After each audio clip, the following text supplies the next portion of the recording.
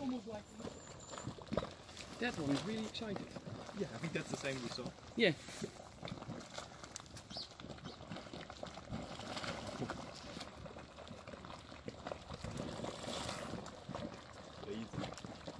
And we're gonna go in there.